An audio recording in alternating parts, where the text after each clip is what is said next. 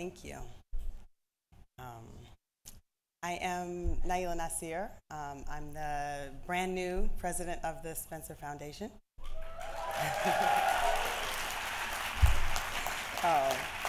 I am incredibly excited to welcome you to the 2018 AERA Spencer Lecture. Um, I want to begin by acknowledging that we are on indigenous lands, specifically of the Lenape people, and recognize that New York City has the largest population of indigenous people in the United States. I'm hoping my voice holds out. I've been clearly talking too much.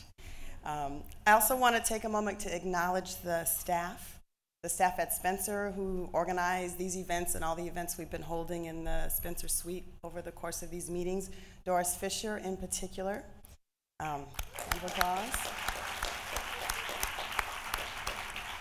I also want to acknowledge the, the AV staff, the wait staff, and all of the hotel staff that has made it possible for us to have this meeting and to be here in this beautifully well-designed room and um, to enjoy the food that we will enjoy at the reception after.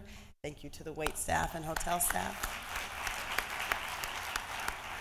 And final bit of housekeeping, I want to mention our survey. Um, as many of you know, we've been thinking um, long and hard about the funding priorities at Spencer, and we want your input. So on your chair, you will notice two things. A card that gives the link to our survey, which you can also access from our website. Um, but we, we, we want to make sure that what we do in the next iteration at Spencer reflects your priorities, reflects the priorities of the field. So we would love your input. And the second thing on the chair is the yellow ticket that is your admission to the reception afterward. So be sure to take it with you when you when you go. All right. So I'm super excited about the conversation we're going to have here tonight.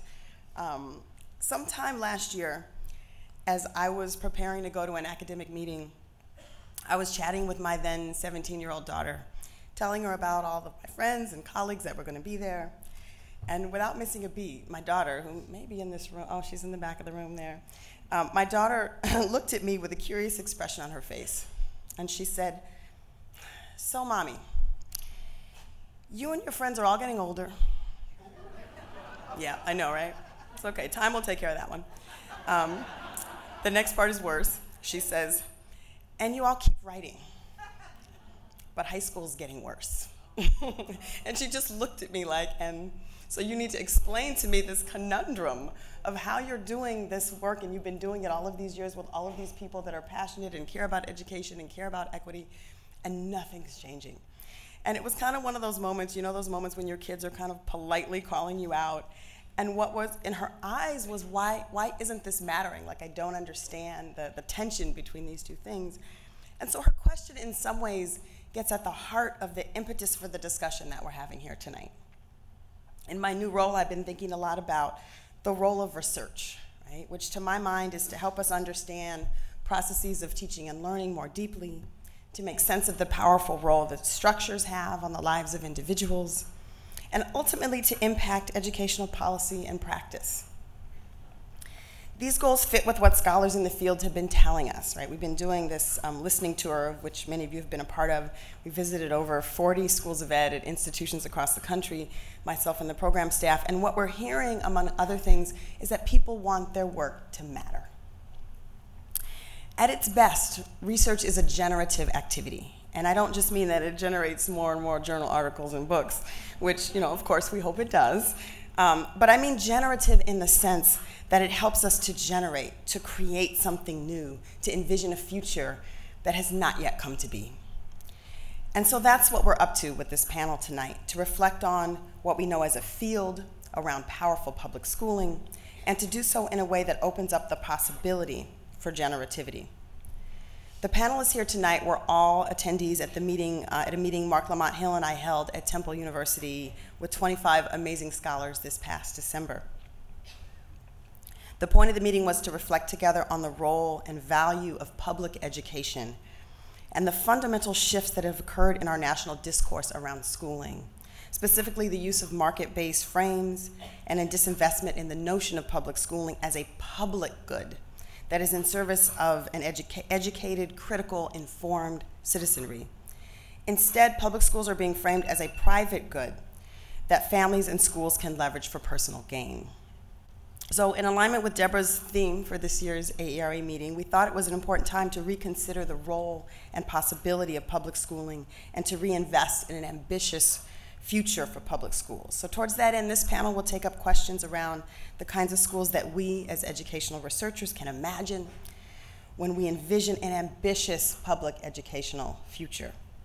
Each panelist will focus on a different aspect of schooling, including the organization of schools and districts, pedagogy, teacher training, and the working lives of teachers, and the possibilities for new, a new consideration of the roles that families and communities can have. And so, with no further ado, let me introduce the panelists on stage here behind me and my co moderator. My co moderator tonight is Deborah Loewenberg Ball. She is the William H. Payne Collegiate Professor of Education at the University of Michigan and the Director of Teaching Works. She taught elementary school for more than 15 years and continues to teach mathematics to elementary students every summer. She studies the practice of teaching as the active work of building relationships with children to support their learning and flourishing. She was also the Dean of the, of the, School of Education at University of Michigan from 2005 to 2016 and is this year's president of AERA.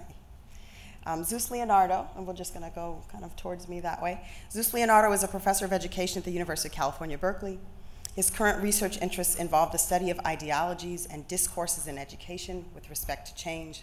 He draws on insights from sociology, contemporary philosophy, and cultural studies, and engages critical theories to inform his analysis of the relationship between schooling and social relations such as race, class, culture, and gender. His research is informed by the premise that educational knowledge should promote the democratization of schools and society. He's a fellow of the American Educational Research Association. Megan Bang is a professor of education and American Indian Studies at the University of Washington, Seattle. Her work focuses on the study of learning and development in and across everyday contexts using interdisciplinary approaches, including experimental cognitive studies, field studies, and community-based design with a focus on science learning. She serves on the Board of Science Education for the National Academies. Pam Grossman is the Dean and George and Diane Weiss Professor at the University of Pennsylvania's Graduate School of Education. She studies teacher, professional, teacher and professional education, teacher knowledge, and the teaching of English in secondary schools. She served as co-principal investigator of a five-year study of pathways into teaching in New York City schools, fo focusing on the features of preparation that affect student achievement. She also serves on the boards of some of the nation's foremost organizations for promoting rigorous educational research and teacher excellence and is my board chair.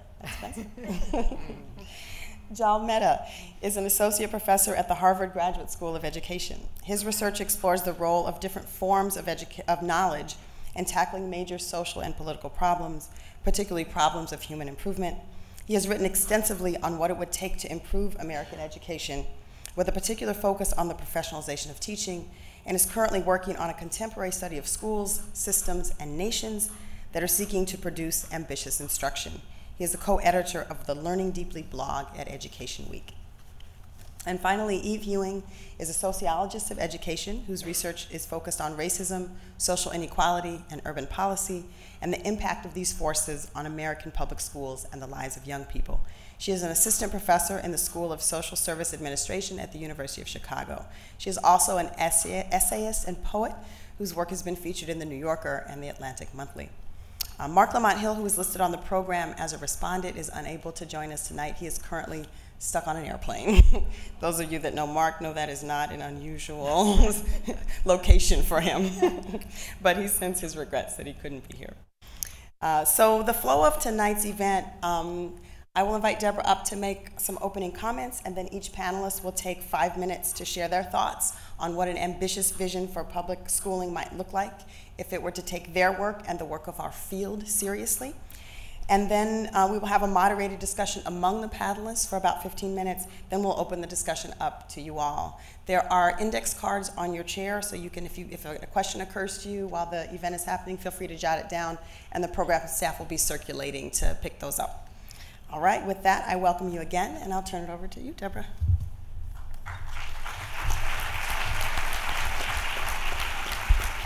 Thank you, Na'ilah. And good evening, everyone. It's great to see all of you here. Um, I'm really grateful for the opportunity to link this evening's program to the theme of the 2018 AERA annual meeting. As you know, the title of the theme, which you're seeing everywhere, is The Dreams, Possibilities, and Necessity of Public Education. The theme asks us to recognize and mobilize our knowledge and expertise for the process of imagining a public education that we really don't yet have. In fact, uh, sort of secret about the theme is that I tried really hard to have the theme say something like the dreams impossibilities of public education, but I was vigorously talked out of that by lots of people because, of course, that's not really the point, except that to acknowledge the struggle that we've had to do something we call public education is important and honest to be doing in this work. Last night, if some of you were there to see the opening plenary panel, you probably witnessed a sparky and fiery discussion among the panelists at the opening event. And in that setting, Eve Tuck asked whether we can really imagine public education without an end to the nation state as we currently know it. And Prudence Carter talked about when we speak, when you speak about undoing settler colonialism, it's undoing the very essence of the way things have always been done in this country. So it's fair to say that public education's possibilities have not been realized for many groups of people in our country. Achievement and opportunity gaps persist. Resources, including skillful teaching, are incredibly inequitably distributed among young people in our country, alarming patterns of discipline breakdown along race, gender, and class lines. And all of these things have to do with the interpretive work that teachers and others do with young people inside of schools and outside of schools, as well as a much broader set of environments that influence the lives of both teachers and of students and all others involved with our youth. All of these things relate to the struggles of people over time that are historical. They relate to policy. There's so many intricate elements to understanding both why it is that we've struggled to create public education and what it might take to do that. As I'll talk about tomorrow night, the problems on one hand of constraints on schools and on teaching that reproduce racism and oppression on one hand, but on the other hand, the discretionary spaces of school that are also the source often of the reproduction of those very same forms of racism and oppression through the open spaces that teaching allows and that schools permit.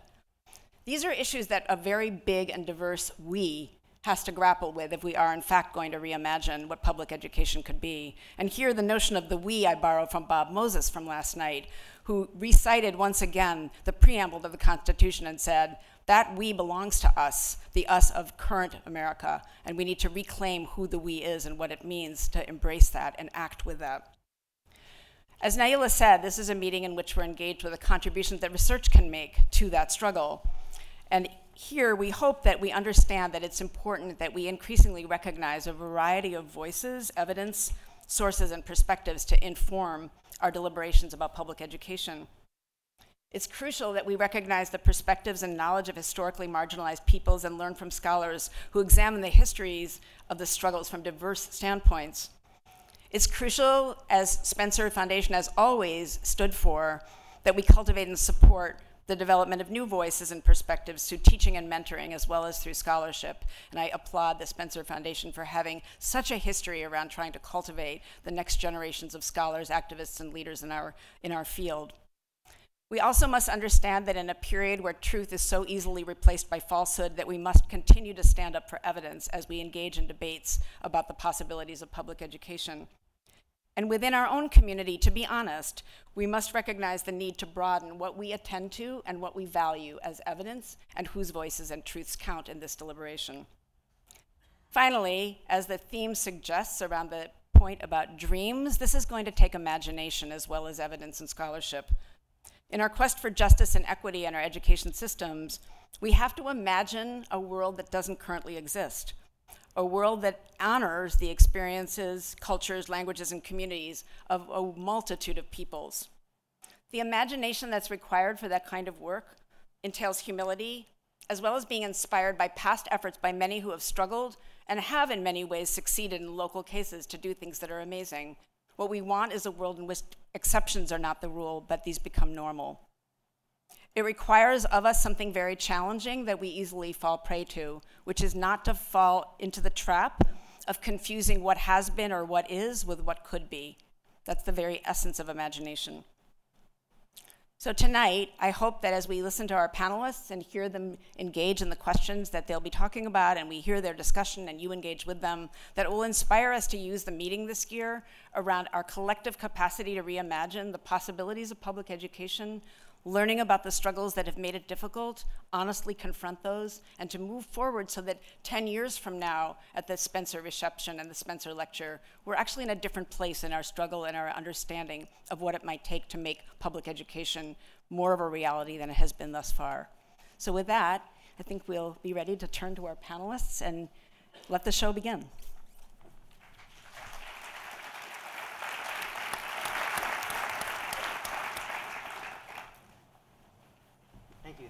Na'ilah and uh, Deborah, for this opportunity and uh, Spencer um, audience tonight. Um, so I'm comfortable usually with uh, weaving in and out of the disciplines, and so you'll hear some of that inflected in some of my notes that I've written here, uh, particularly um, um, thoughts that we've seen come down from philosophy and sociology. So I'm thinking about the public, public education, the public intellectual uh, the public intellectual, for example, and the erosion of both the public and the intellectual uh, that we've seen. So discussions around public are really about space and how we exist in these spaces. And discussions and designs of space are themselves inherently uh, racial. They are about race. And one of the best examples we have is, is gentrification, for example, is how the space and race relationship um, is obvious. So uh, George Lipsitz once uh, wrote that this is about the racialization of space and the spatialization of race. And in particular, I'm influenced by um, three thinkers from philosophy and sociology. Um, the first one being Du Bois and um, his um, phrase that we, uh, most of us know as double consciousness, which is the notion of being one body in two spaces. So to me, spaces are not just literal spaces, such as neighborhoods, but they're also existential spaces, right? So the, the notion of uh, black double consciousness is, is one warring body in two spaces.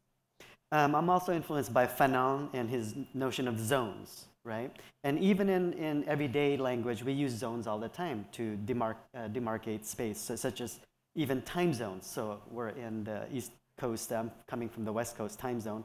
So that's not just about time, but space.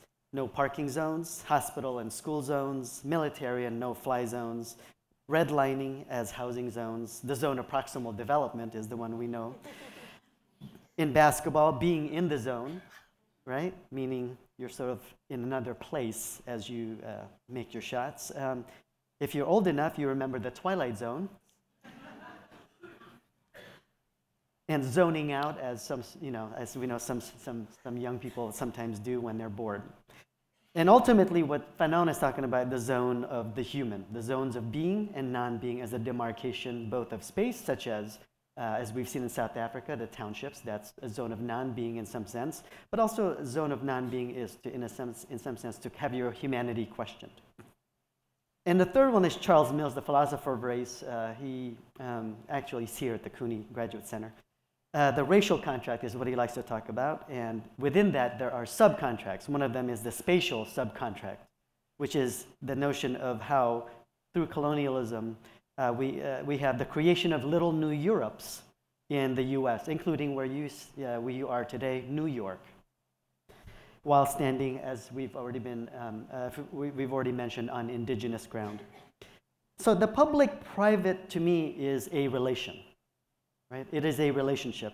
Ultimately, this relationship is taught, right? Eh, we teach it to children as early as when adults tell their toddler not to show their private in public. Not simply about public schooling, but really about education, public, private, or proprietary. What we're talking about is education as a public good. For example, Spencer as a private entity with a public agenda. So I would like to craft a critical analysis of the possibilities of the public and avoid its fetish, so that I'm happy here to be sitting you uh, here today to talk about this. So to me, the public and private are neither neatly separable, one here, the other there, nor fused indivisibly, as in pluribus unum, for example. One is infused with the other. And rather than synthesize them into a third possibility, like we've done with the local plus global, sometimes called glocal, perhaps we want to maintain the tension between the private and the public, which don't collapse into each other easily, but rub against each other like sides of two magnets with the same charge. So to me, private or privacy and public or publicity are shot through with one another, like secular and religious thinking, secular and religious policy, that as my late colleague Saba Mahmood says, that what we do in one uh, affects the other. So that changes in the public affect policies about the category of private, and policies about private affect how we behave in and create the public, including schools. So I'm trying to maintain the sense that the public and private is a relationship and that they're not neatly separable and that what we do in terms of policy, behavior, cultural understandings of one uh, affects the other. Thank you.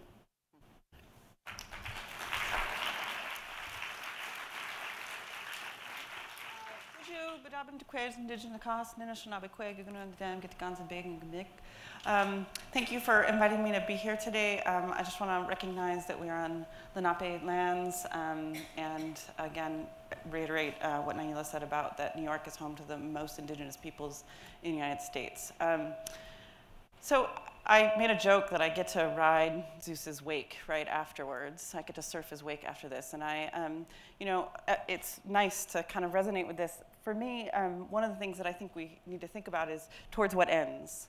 Um, the history of publics and public education, from my perspective as an Indigenous person, um, has never been towards altruistic ends. It has always been towards Indigenous erasure. Um, and part of what that has meant is thinking about particular forms of knowing and being as being um, legislated, um, as cultivated um, in our schools. Um, and so the possibilities of public education to me um, needs to ask a fundamental question. And that for me is about what is uh, just, sustainable, and culturally thriving futures, um, and for whom. Um, and so for me, when I think about these questions, I start to ask fundamental questions about how is it that we're conceptualizing learning. Um, and at the core, I was trained as a learning scientist um, in a really um, important time in learning sciences where the idea that learning was not always cultural, where that learning was not always about the constructions of identities and possible selves, um, or that learning was not always, that heterogeneity was not always fundamental to learning, wasn't imaginable anymore. And that the job was to create and reimagine learning environments where those things were given. Um, and then the work of thinking about creating education was no longer trying to imagine those things as not part of learning, not allowing for erasure or invisibility of any of those kinds of things. And so I'm going to just talk a little bit about what I've been up to um, about understanding also how public education has become, um, at least from my experience and my perspective, a thing that only a few people get to decide. Um, and I've been after thinking about um, how public education has been part of the policy that took raising children out of indigenous communities for four or five generations um, that's taken us away from developing our own pedagogical expertise um, because our kids have been under the control of somebody else. Um, and so I think that one of the things when we think about public education is how is it that we are reimagining actually engagements, and whether that's publics or privates, but what I'm really getting at is families and communities. Um, and I started out as a Head Start teacher, um, and I uh, really thought a lot about how is it that what happens for young people when they come into these buildings called schools. Um, and do those schools know them, um, know their histories, um, know what their families or communities hope for their futures? Um, and mostly the answer has been no. Um, and so I, I, think a lot about how we've turned to sort of thinking about what is consequential learning, and I really appreciate um, whether consequential learning is towards markets or is it towards justice, sustainability, and, and cultural thriving, and a heterogeneity of that cultural thriving? Um, and so for me, when I um, think about learning, I think about the micro-interactional. Um, I think that I am really blessed to be able to learn from the thinkers, the critical thinkers who are really understanding kind of the long arcs of power, the long arcs of how injustice has worked and reproduced itself. Um, but from my perspective, I like to think about things at the micro-interactional level, in part because I think there is always a possibility to shift the micro-interactional if we can see it. So those reproductions happen um, in those micro interactions between peoples um, who are always engaged in learning. And so for me, the, the question is, is that, um, if we keep talking about public schools or public education, and they're not synonymous in my mind, so I think a lot about how um, learning, learning is a human phenomena. We learn in all places. But there's been a way that the learning that is valued in particular places um, is legislated in particular ways towards particular ends. So for me, the thing that I think that we need to keep investing in is understanding how power, historicity, and whose futures are actually reinscribed in micro-interactional moments in our learning environments as places to reimagine um, what public education could be.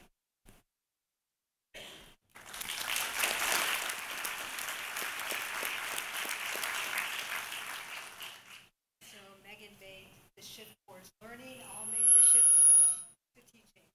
Um, teachers, I believe, are fundamental both to the possibilities and impossibilities of public education. The question we were asked was to imagine what teacher education, teacher ed- uh, development, and working conditions in schools might look like if we paid attention to the research. And I want to start by saying that the truth is, I can't answer that question because we don't have a robust enough body of evidence to really know what it is that provides for strong teacher education or professional development. Because as a field, we fail to invest in systematic research that would help us answer even fundamental questions about how teachers should be prepared, in what context, for what purposes, and for how long. So, again, I want to call attention uh, as a research community, this is something that as a community we're responsible for, and we have a lot of work to do in this area. So, I'm building on still a partial research base to think about what we might think about. In 2005, AERA published um, the Studying Teacher Education What We Know and What We Don't Know. 13 years later, there's an awful lot we still don't know. What we do know um, is that we need to think much more broadly about how we prepare teachers. So let me start with issues around selection. When we talk about teacher education, we often focus on issues of preparation. How do we prepare teachers? What are they prepared in? But teacher education starts with selection, and we should be paying much more attention to who's coming into teaching. One of the things that we know is that we should be recruiting many more teachers of color than we currently are. That to be able to have a teacher who looks like you, the research would tell us is an important part of being able to learn, to engage in learning, and to see those possible selves and future possibilities. So we can learn from the research of people like Ed Brockenbrough, who's here in the front row, and Travis Bristol and others about what it would mean to really recruit much more intentionally teachers of color into classrooms and then support them so they stay. We should also be thinking much more about how we prepare teachers. Um, and to think about uh, focusing on some of the foundational practices of teaching and learning. Megan has already identified one of those, which is how do you build strong, productive relationships, not only with children, but with their families? How do you deeply understand the experiences that students are bringing into your classroom and the myriad of experiences and that they've had in schools and what they're bringing to the project of learning. So, how do we deeply prepare people for the very relational practice of teaching and understanding the communities in which students live? We also have to think much more deeply about preparing them to teach content, to really thinking about what it means to teach math or literacy and sending out novice teachers who are well equipped to teach, again, for ambitious instruction from the moment that they enter schools. Teaching is more complex than ever, and yet we cram more and more into the teacher education curriculum um, as if that would solve the problem of helping people learn. Again, how do we think in some ways about focusing on preparing people well for some of those foundational practices so when they enter in, they're, they're equipped to enter schools and keep on learning.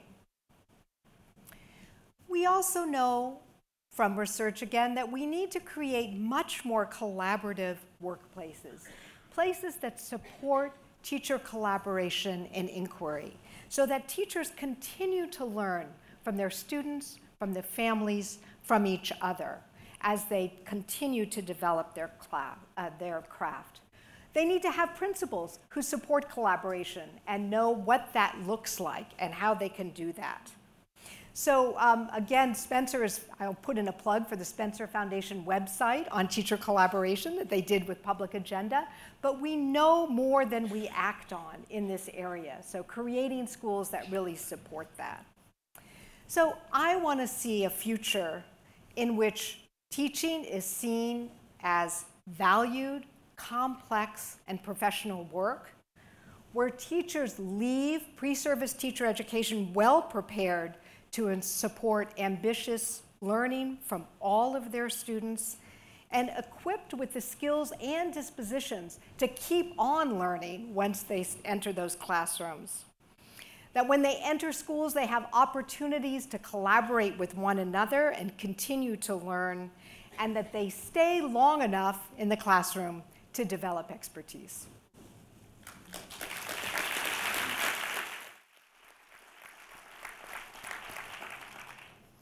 Good evening. Can you hear me well in the back? Good. Um, so I want to offer an uh, optimistic comment about a pessimistic state of affairs. Uh, so with my doctoral colleague, now graduate, Sarah Fine, who's sitting in the fourth row, and you should hire uh, in the near future, uh, we, uh, uh, we set out on a, a, a kind of odyssey-like study of American high schools about six or seven years ago. Uh, it was originally called Good Schools Beyond Test Scores. And if you had found us after year one, you would have found uh, two very depressed uh, researchers. We saw a lot of what has been documented in the literature, teaching as transmission, low cognitive tasks, disengaged students, um, lots of worksheets. Uh, and these were in schools which were recommended, which was sort of particularly disappointing to us.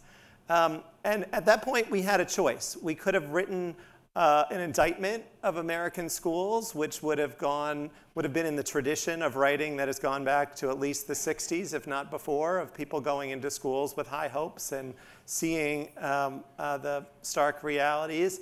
Um, but uh, instead, we decided to make a different choice and uh, find uh, the spaces, teachers, places, classes, programs uh, that were transcending this reality and to sort of see what we could learn from that.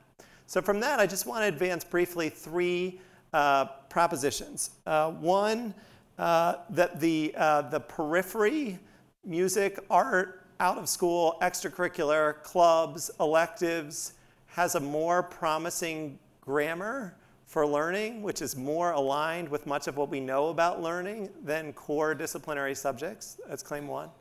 Uh, claim two, the best teachers we saw were trying to do a number of the same types of things, the elements we saw in these peripheral spaces.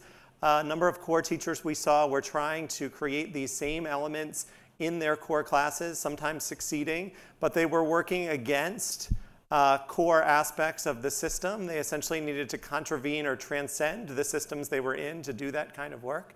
That's the second claim. And then the third claim is if we want a different kind of learning, we would need a different kind of system. Okay, so just uh, briefly on each of those points. I, I, think your minds are probably already going in all sorts of directions through, so uh, I'll just elaborate very briefly. Um, so for the, um, for the periphery, we focused in on two examples, uh, theater in a uh, fairly affluent school and debate in a high poverty school.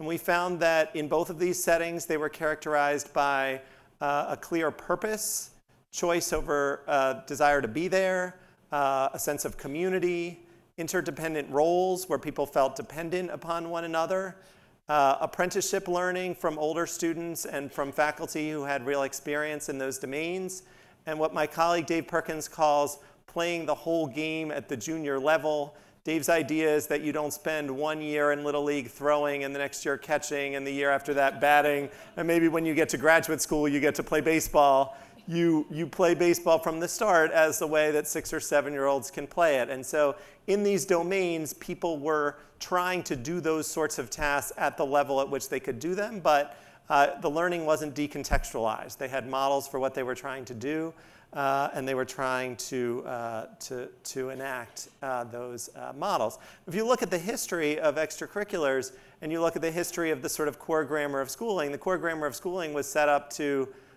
sort, batch process, racially subjugate. Uh, the uh, grammar of extracurriculars was set up to give students sort of miniature opportunities to enact the skills and capacities they would need in adult life. Um, which doesn't mean there aren't problems. There's not inequality, stratification in those arenas as well, but uh, just a different grammar. The, uh, the best teachers we saw uh, were essentially trying to pull off those things within the constraints of uh, core disciplinary uh, classes. So they might give students uh, for example, in a class where a teacher was trying to teach students how to write a scientific paper, students uh, got choice over what topic to work on, but the process of scaffolding of the paper was, was similar. But, and we've all seen good teachers, I think you could imagine what we would say there, but uh, they were in important ways working against the systems they were in, simplistic state tests, teacher evaluation systems, pacing guidelines, short blocks, high teacher loads. They were what my colleague Bob Kegan calls self-authoring. They were transcending the systems they were in. So what would a better system look like? Uh, it's easy to imagine what it would look like. Assessments that looked more like IB than AP, measuring whether students can produce products which demonstrate certain skills rather than simply covering content uh, vertically integrated uh, pathways to support teacher candidates, doing the kind of teacher prep that Pam is talking about. But the teachers we found, the really compelling teachers we found, were 40 to 50 years old. Like, it takes time and germination, but we could make it less haphazard if we had systems that continued to build learning. Um, schools which build uh, learning communities, all the schools we studied had containers for PLCs, but what they did with them varied greatly, and it was what happened inside them uh, that really count. And then probably the biggest shift would be uh, for districts. Districts would need to change their orientation from seeing themselves as uh, compliance seeking entities and become modern learning organizations that supported and networked uh, learning across, um, across their sites.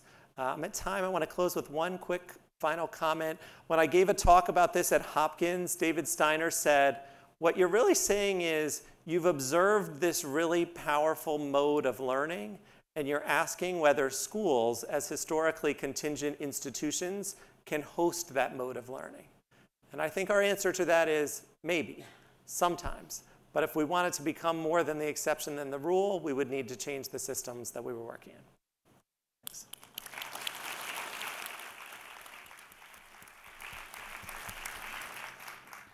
Good evening. That's a call and response. I call, good evening. uh, I was asked to answer, and I apologize, I'm a little hoarse. I was asked to answer the question what might schools and systems of schooling look like if we took seriously the role, needs, wants, and hopes of families and communities? And I decided to come here with a story.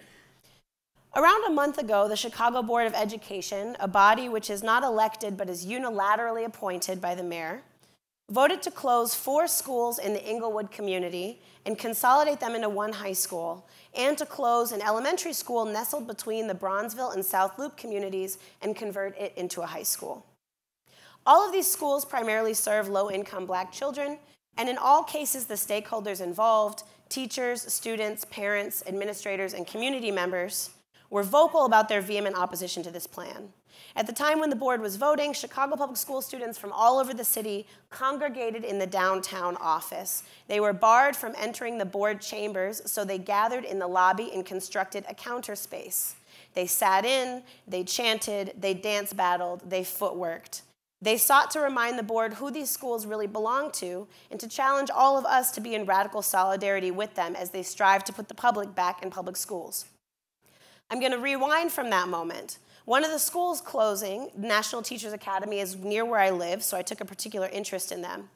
And when I spoke to them, I was impressed that they had exhaustively tried to talk to someone, anyone, about how to keep their school open. They'd gone to every media outlet, every public official. They had data about how academically successful their school was, and they were stunned that it seemed like no one would listen.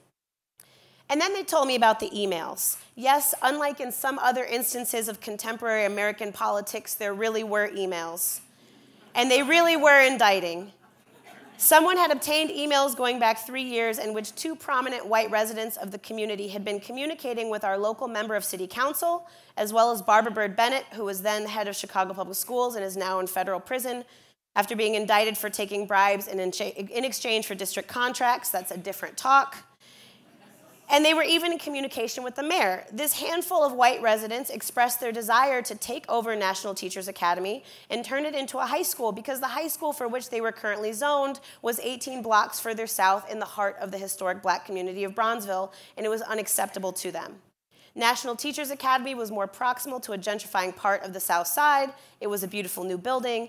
And it was a building that was constructed at the site of the former Ickes homes, a public housing project torn down by the city, with the promise that the children who once lived there would be allowed to attend a beautiful new school. And now wealthy white parents wanted that school and they got what they wanted.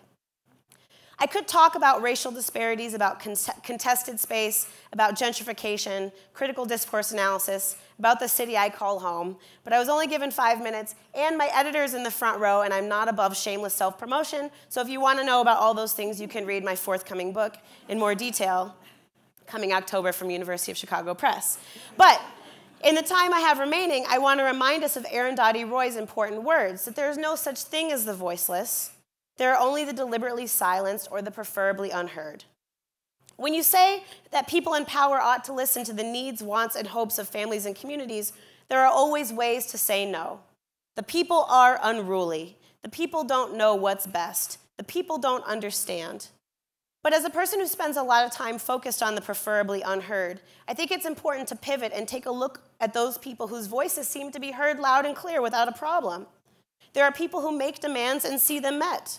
And I have come to understand that the tactic of people in power is to stonewall opportunities for real discourse, such that the people without power turn to civil disobedience, then condemn and criticize those people as lawless rogues when they do things like hold citizens, hold sit ins.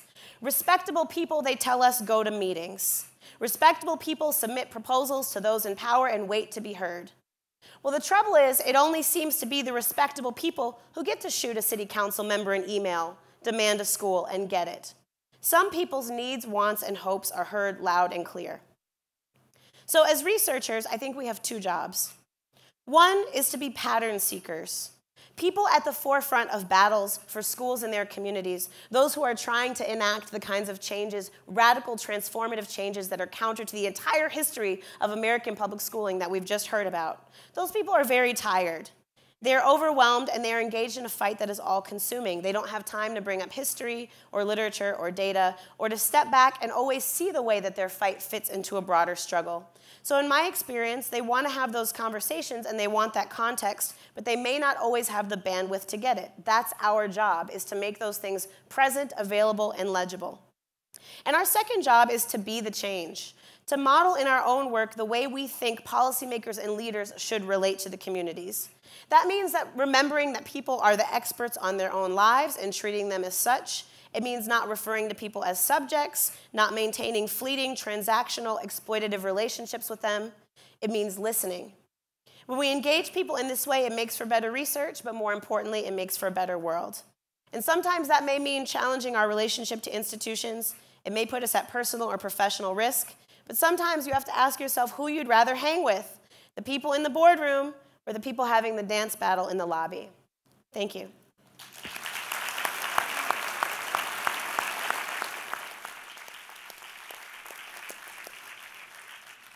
Is an interesting task. So you've each uh, laid out some, some very particular perspectives on the question that Na'ilah posed to you. And I think one interesting place to start was what, what Megan said, um, which is, um, see, I wrote it down. To what end? For whom? and then talked a great deal about learning. So I'm curious about how you heard one another about what might be implicit or explicit about what you're thinking when you think about a question about imagining something about public, private, teaching, systems, families, and Megan, back to you. Like, is there a conversation to be had across you about why are we having this conversation? Is there, not here, but in general, is there what about public education. What is it that at this time in this nation or nation state or not, what is it we imagine ourselves to be having a conversation about? And is that, is that a conversation we know how to have or want to have? I'm curious across what you've just said. You know, I, Go ahead, um. I, I am a person that says very frequently publicly that I don't believe in police and I don't believe in prisons. And that's a challenging statement for a number of reasons, but one of which is because it requires us to imagine something that has never ever been. And I think the tension arising in all these comments is that we're trying to imagine something that has never been, something that perhaps we can't even call school. I think in that way, the project of thinking about uh, liberatory public schools is analogous to the project of thinking about a liberatory society in the sense that the United States was founded on chattel slavery and the genocide of indigenous peoples and the oppression and subjugation of those peoples. And yet we continue to believe in and strive for a democratic society that is capable of some just and good action. And I think the same thing is true. As Megan reminded us, public schools have existed solely and primarily to subjugate and control certain people and certain bodies. And so for us to imagine past that is something that is such a, a cognitive leap um, that I think we really have to be really courageous and audacious in order to do it. And it's not about tweaking, it's not about tinkering, it's about a fundamental reimagining of something that's never existed. Other people want to jump into this? Uh, so I'll say this really explicitly. I, I think we have to decide uh, if a settler colonial state is where we want to continue to be. Um, and, and I, you know, just riffing off of that, Eva, I, I think that. I, I also think that what that has meant at the um, learning level is largely we have chosen to narrate what disciplines mean based in a kind of epistemic supremacy. Um, largely based in whiteness, right? We don't actually open up disciplines and the multiple ways that people have always made knowledge um, as the foundations for what a potential public education could be. And so in my work, I'm always trying to figure out, and I'm not suggesting that we shouldn't be doing some of the disciplinary things that we do, but we structure power and knowledge in particular ways that have been aligned with the very foundings of this country over and over. And so for me in my work, I'm always thinking about I want indigenous children to understand Western science, but not at the expense of our own knowledge systems, right? And so part of what I'm always after is trying to reimagine learning where heterogeneity and kind of multiplicities of ways of knowing are, are just what is. By the way, other countries do that, right? It's kind of like the myth that it's hard to speak multiple languages. That's not hard for humans. It's social and political contexts that make that hard.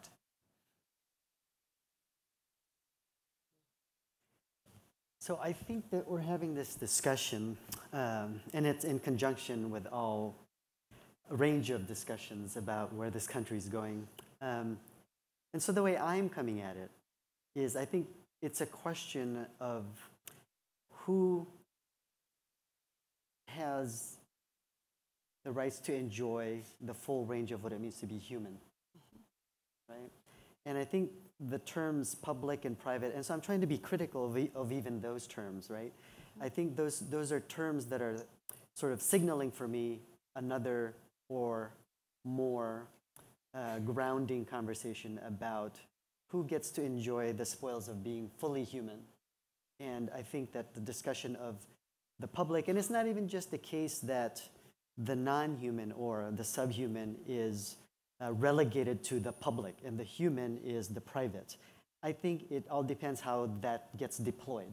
So, to the extent that in this, in one situation, um, marginalized people are considered, you know, part of the public, and in another instance, it gets taken back that you know they should keep their racial discussions private, and so it's private there. So I think that these are code terms, and I don't mean that in a sort of you know, espionage sense. But I think there are code terms that throw us into a deeper discussion about the purpose of school as it relates to our humanity and who has the, the full rights to enjoy that category. Jal or Pam, does that, how does that fit with the things that you're thinking about? The things that others have been saying? I think it, uh, when we think again about the histories of schooling and the histories of uh, teaching as well, and who taught and for whom and in what communities, I think many of these issues of the purposes of education come into play.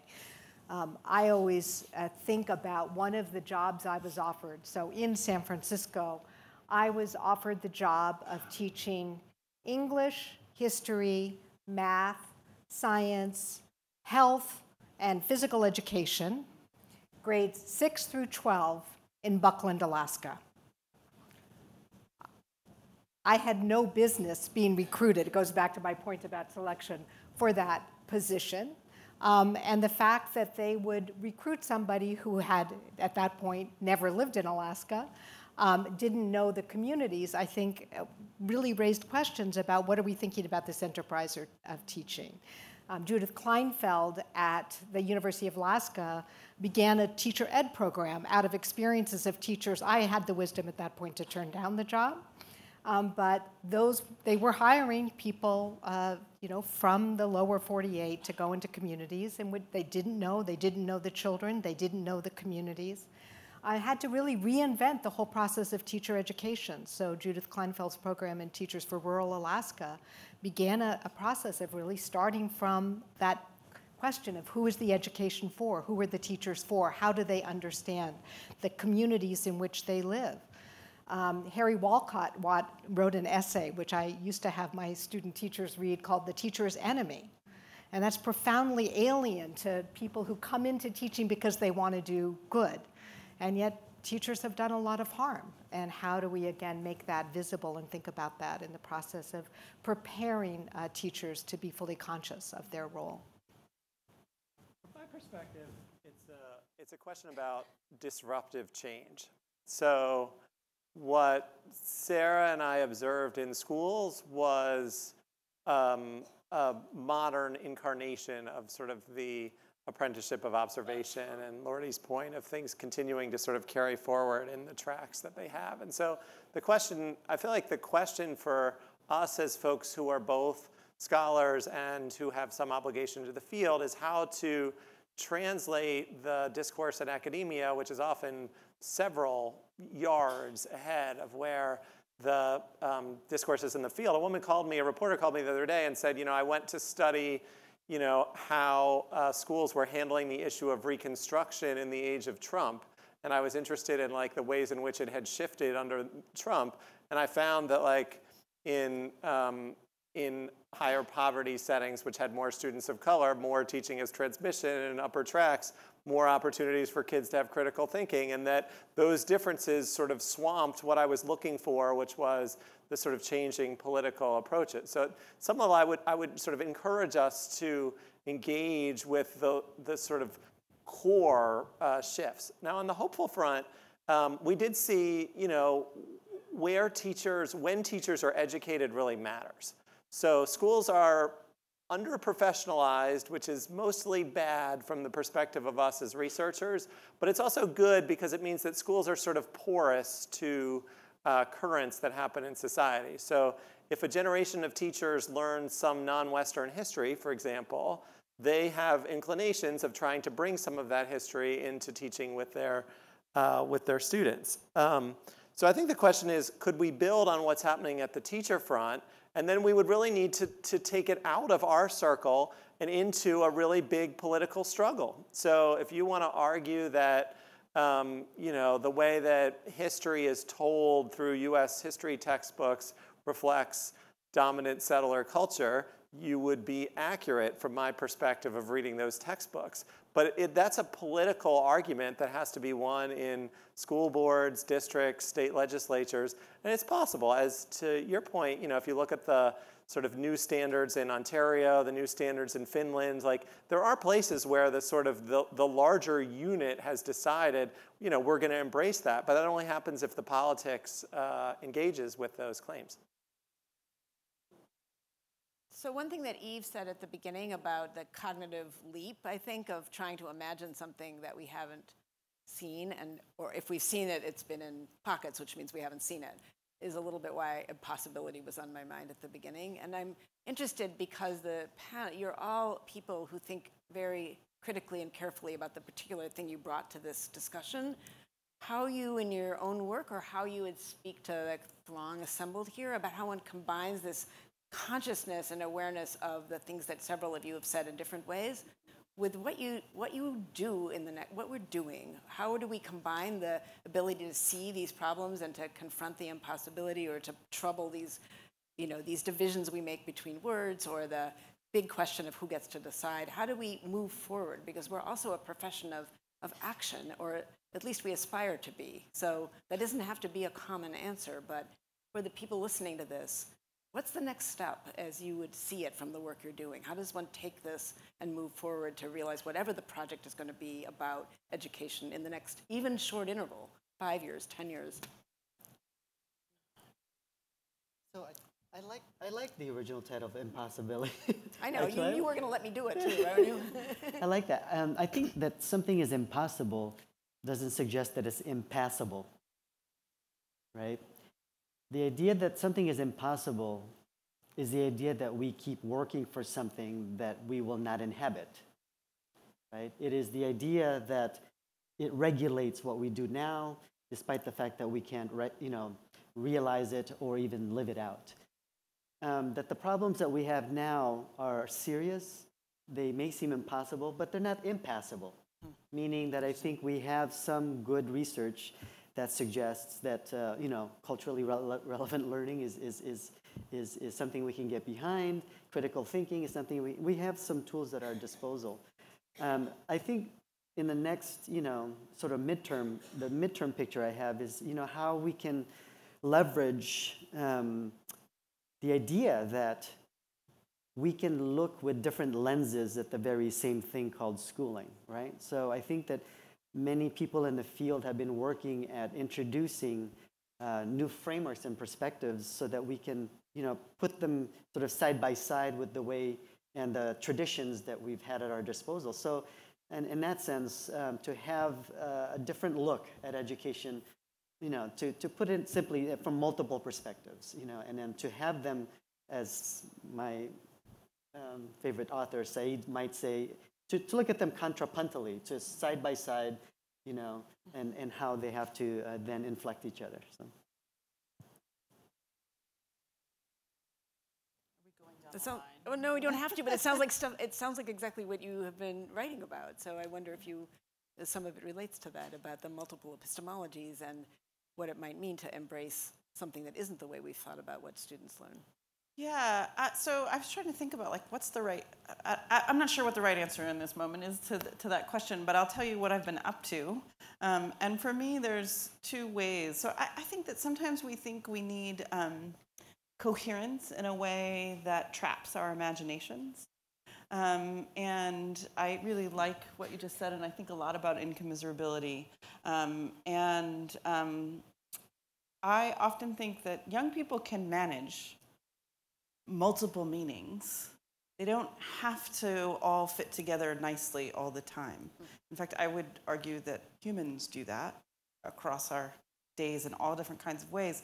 So, I mean, I think for me, what has been really powerful is to both design that with kids and families, um, and then with other adults that might choose to be the teachers in those contexts and try um, and fail miserably sometimes but also find profound moments where kids make sense of things in ways that, frankly, I hadn't imagined that they would. Um, I gave a talk earlier about a play that our kids performed last summer.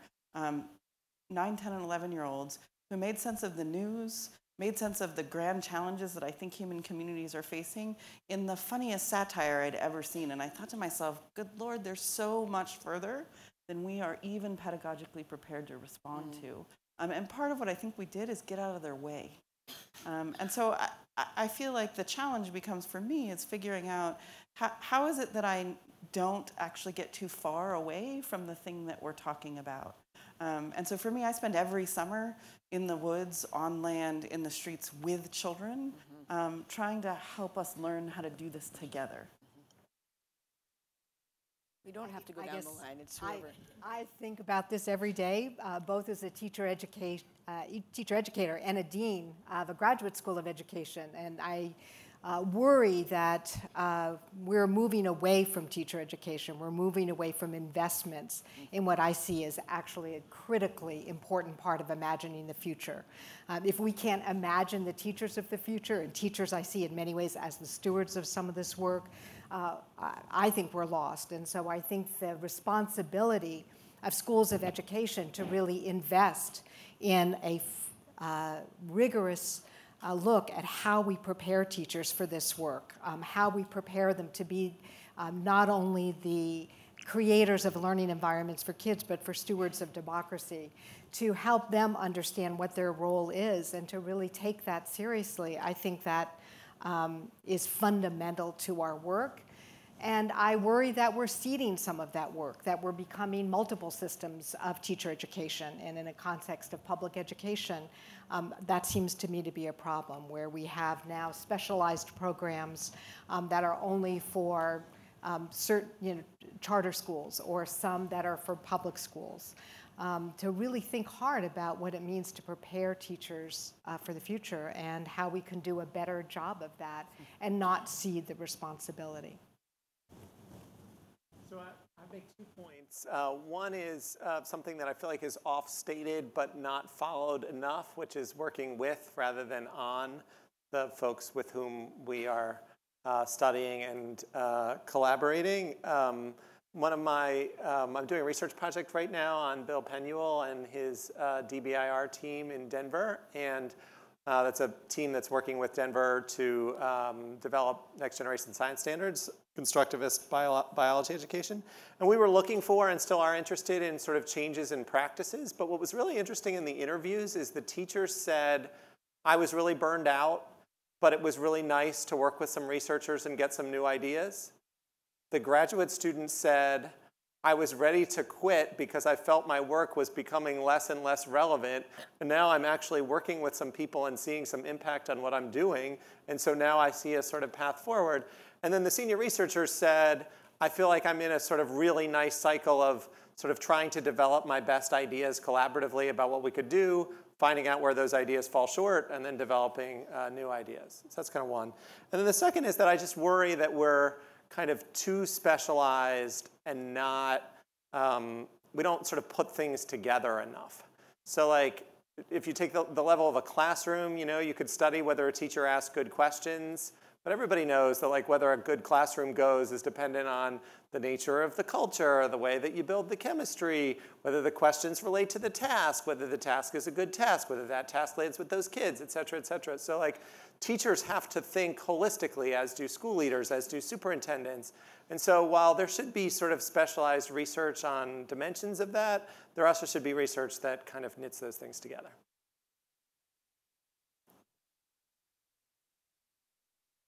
No? Na'ilah's going to take over. I come, um, I come bearing questions. Um, so we have questions from the audience. I'll just kind of throw them out there. Whoever wants to respond can respond. Um, these two I'll ask together because they're kind of of a similar ilk.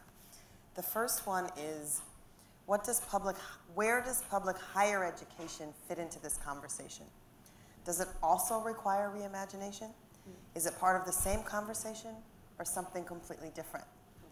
And, and a, a similar question at the other end of the spectrum, what about early childhood? its potential role in addressing inequalities and its out, existence outside of public funding streams. Might early childhood education be the disruptive change that we need? So anyone wanting to take up either or both of those questions? Well, going back to Jal's comment about not looking at this separately, we do need to be thinking about this as a whole system that really does start in early childhood. And the more that we can be learning about the ways, again, of working with families and communities to provide uh, rich experiences for children seems to me just critical. Um, and it's something that I think we have had, there are many, many people working in this field that we can learn from. Um, who are really beginning to set the frameworks for how we improve conditions for children and their families um, very early on that sets that stage um, for the rest of the of, of education. I, could I just add one more thing? And the teachers in early childhood are the most devalued teachers in the entire system. So again, if we really looked at what age matters most and where we would put our investment, we might put it in the teachers of early, chi of early uh, childhood. And yet again, that's not where we invest. That's not where we invest in their development. It's not where really where we invest in a lot of research on their preparation. I mean, there are a lot of things we could say about public higher education, but the sort of critical one in the current moment is, you know, a, a, a big part of the country and uh, many conservative state legislatures legislators are very skeptical of public higher education. Uh, Michael Young wrote this book in 1958 called The Rise of the Meritocracy, which argued that essentially like the Mandarin class would eventually get destroyed by the people who weren't the Mandarin class. There would be a sort of revolutionary overthrow, and that book has really been uh, sticking with me for obvious reasons uh, over the past few years, not just in the United States, but uh, abroad. So uh, public higher education has faced huge financial cuts, as I'm sure folks here have experienced over the last uh, really 25 years. Uh, and so some combination of public higher education making a stronger case for itself and the importance of its value and potentially changing and differentiating the things that public higher education does seems pretty critical. The only thing, the only thing I would add about the, um, about the early childhood context is uh, reflecting something that Joel said earlier about political struggle and our task as political framers. Part of the reason I, I write in public venues is because I see uh, one of my jobs as using expertise to frame the way a public thinks about something. And so early childhood is critically important it's an amazing place where we could do equity work, and it's also, as Pam said, a place where our educators are enormously undervalued, enormously underpaid, have no real monetary incentive to get the additional education that would make them better at their job because they won't get a raise if they do it, disproportionately women of color, um, disproportionately have very little labor protection, et cetera, et cetera. And that reflects uh, a societal problem, which is the way people think about early childhood education as a, as a devalued site. And that's a great example of a place where I think that as scholars, we could step in and reframe a conversation. Several years ago, there was a lot of public momentum about the idea of universal pre K. Our job is to be the people who step in and say, not just universal pre K, but it should look like this, it needs to work this way, this is the research on it, and to change public perception. And I know we can do that because when I tell people I study education, they tell me things like, What do you think about grit? You know? So I know that it's possible I know that it's possible for a, a public to take on, I, people ask me about the bell curve, right? I know that it's possible for a public to take on rhetoric framed by scholarship into their everyday understanding of the way policy needs to work. We just need to do a better job of stepping up and shaping those frames. Yeah. So that, that actually kind of. Can I just add one yeah. thing? So, so um, I think early childhood is um, a really important time. Um, but, but I also think there's a really big question here about whether or not we think we're preparing kids in early childhood to be in K 12 systems as they are, or, or if there's also something else. And part of what I'll say about this is I loved being a Head Start teacher, but I hated sending my kids to preschool. And the reason that that was the case is because preschools have not taken seriously the way that cultural variation shows up already. Um, and so I worry a little bit that we haven't brought quite enough of a critical lens to what early childhood education could and should be, particularly if we're asking ourselves how to reimagine a K 12, a K to higher ed kind of uh, public education. Um, I don't think that there's enough reimagining that right now, too. Um, so this, this question actually speaks to this point about kind of the public view on research, and I'll, I'll read it. It's, it's phrased in an interesting way. If a Fox News reporter were here, how could this discussion change that reporter's perception of education research? Of education, of education research. Yeah.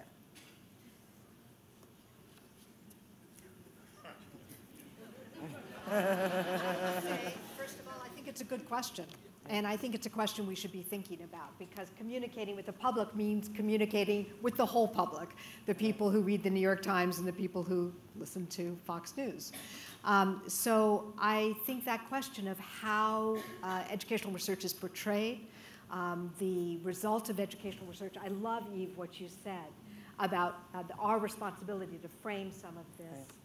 Right um, but also to connect it to the evidence. And again, part of our role should be to provide the evidence for some of these recommendations and help frame a conversation about what it means to use evidence in, in making policy and pursuing possibility.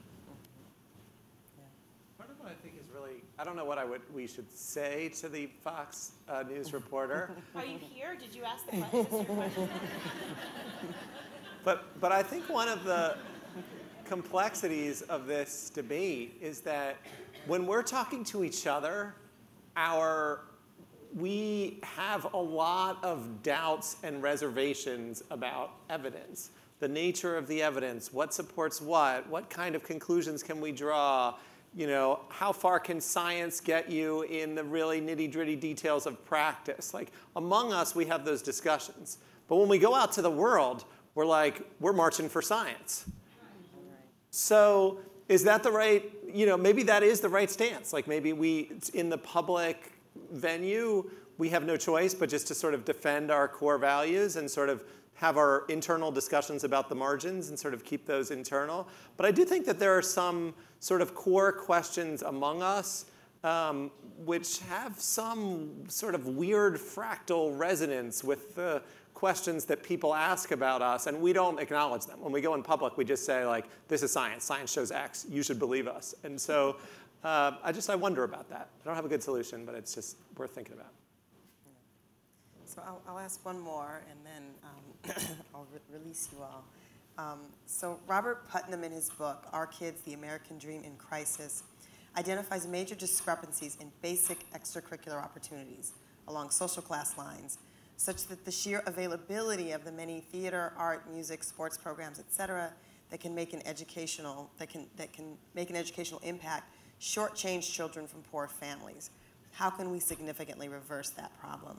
And, and maybe I would add, I, I feel like this theme of the in school and out of school, reimagining the possibilities of what school can be and, and finding the edge of that, like what's the, what's the stuff we take from how schools run? What's the stuff we take from what's happening in out of school environments in this kind of project of reimagining? And how do we think even about that line between school and out of school? Well, I think, I think that's been the discussion all along is the difference between schooling and education.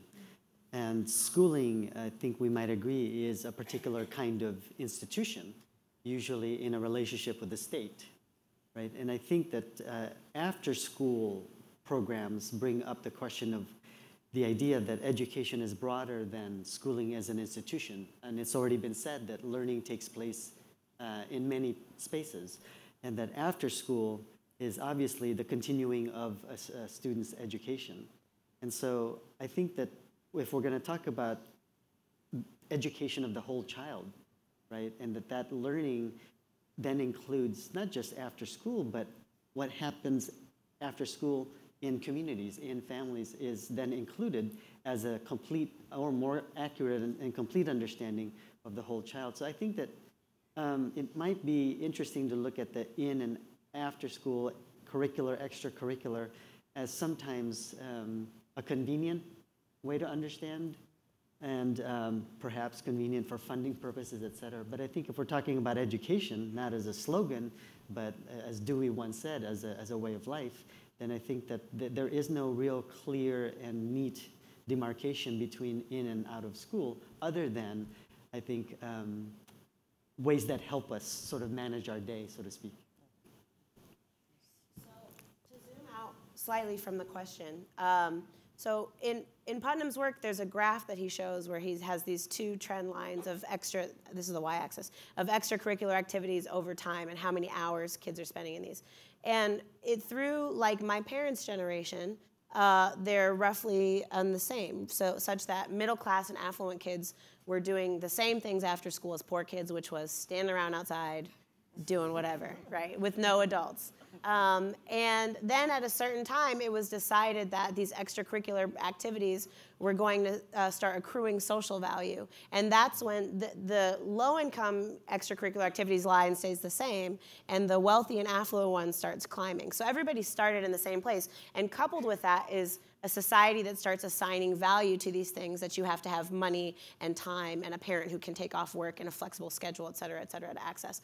And I think that uh, the reason I say I want to zoom out from that is I think there's a meta lesson there, which is in line with a lot of the other work that we're seeing, um, like John Diamond and Amanda Lewis's research. And Prudence Carter said earlier, you know, we should never think that diversity is integration. And we've spent a lot of time uh, looking at those who are, are harmed, who are on the bottom trend line. But I think we need to continue having a critical conversation about behaviors like opportunity hoarding and the many creative ways in which people in power will work really, really hard, no matter what changes we make, to figure out ways to accrue um, value and prestige to their own children. And there's a certain way in which every time we try to reinvent it, they're going to come up with something else. Until we address the deeper problem of how are we going to ensure that the, the kind of society we want is one in which uh, learning opportunities, whatever they may look like and wherever they may live, are offered equally to all children.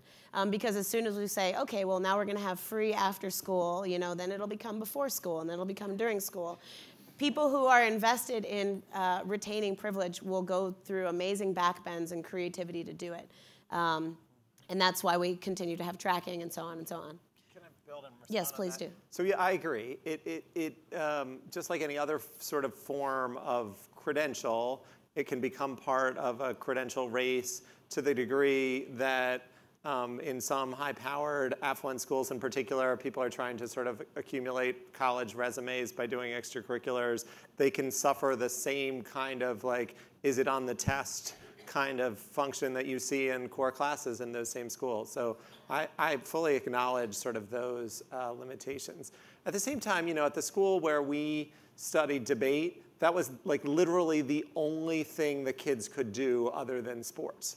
They had no electives. They had no other sort of semi-academic extracurriculars. Whereas at the school there was theater, it was like one of like 200 things that the kids uh, could do. And I really think that that reflects um, priorities. It also reflects these spaces sort of assume different things about students. They see them as sort of capable producers. And so if we, if in our more affluent, whiter schools, we sort of seed that as a wide, widely shared you know, practice, and in other schools we don't, I think that's a real problem. So I, I agree with you that in the long run, like there will be sort of re-credentialing and opportunity hoarding, like that kind of inequality will, will come back. But I do think, I, we use some of that Putnam data, and I think we should be just as outraged in the gaps around not just extracurriculars, but clubs, specials, music, art, et cetera, as we are about gaps in core subjects. I, I totally agree. I guess the only thing I want to say is we need to always pay attention to all the different places where we have to put out fires. But at some point, we maybe want to like build a brick house, you know, and think about coming up with some structure that is not just um, because it will always reinstantiate itself somewhere else. But it's, it, it's, I guess this conversation just makes me uh, want to emphasize the importance of paying attention to schools. Even as there are maybe more sites of possibility in out of school activities, school are where kids are. School is the place, uh, the institution that matters enormously, and it matters enormously, particularly for kids who don't have privilege. And so the challenge, as we started with, is how do we reimagine schools to be sites of possibility? How do we really rethink that? Can I, I just want to add that we've quickly recentered schools as the place of justice. Um, and we've also implicitly kind of assumed that intellectual work um, happens in schools and not across the day all the time, right? Like we're using language that says, here's extra extracurricular kinds of things, and then that space becomes, without them, there aren't opportunities for learning. Um, and I guess what I just want to say is that I, I, I, think we need to be really careful about how as we, I, I don't disagree with anything you've just said, but I, I worry that we reinscribe some of the sort of foundational kinds of things that I was talking about in terms of epistemic supremacy by the way that we're framing the conversation about out of school and in school. Um, I also think that we've, we've now alluded to it metaphorically that school is a material place. Um, and part of uh, what I sometimes think about is what if we stop thinking that school happened in buildings? Like literally that and the other thing i would say is kids are in school until we push them out and they're in school because we have compulsory attendance laws that will punish teachers for not or punish families for not sending them there. So while i totally agree i also think that's the kind of historicity of holding on to. How is it that we've created the conditions under which school kids are in schools? Um, and why is it that when we get into adolescence and high school there's lots of kids that choose to stop coming um, and how we choose to interpret their leaving um, is also really, really important about this. And I'm not actually suggesting we shouldn't keep worrying about this, but I, I'm just kind of questioning a little bit about like what assumptions are we playing forward as we kind of engage in reimagining things. Yeah, it's interesting because it feels like uh part of what I'm hearing is there are different levels at which you could engage reimagining and how radical are we willing to go.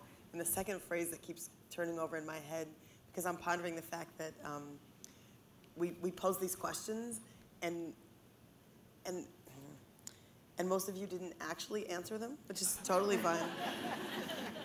But I'm, I'm wondering if there's, there are precursors to hope or precursors to imagining, which is to say, we cannot imagine until we acknowledge all of the forces that are holding things in place, because to do so is actually dangerous, right? To do so is actually to ignore forces that are then going to come back and, and reproduce themselves. Anyway, lots of rich things to talk about as we move into the reception. Um, so I invite you in a moment to um, head next door and eat, drink, and be merry. But I also invite you first to join me in thanking our panel.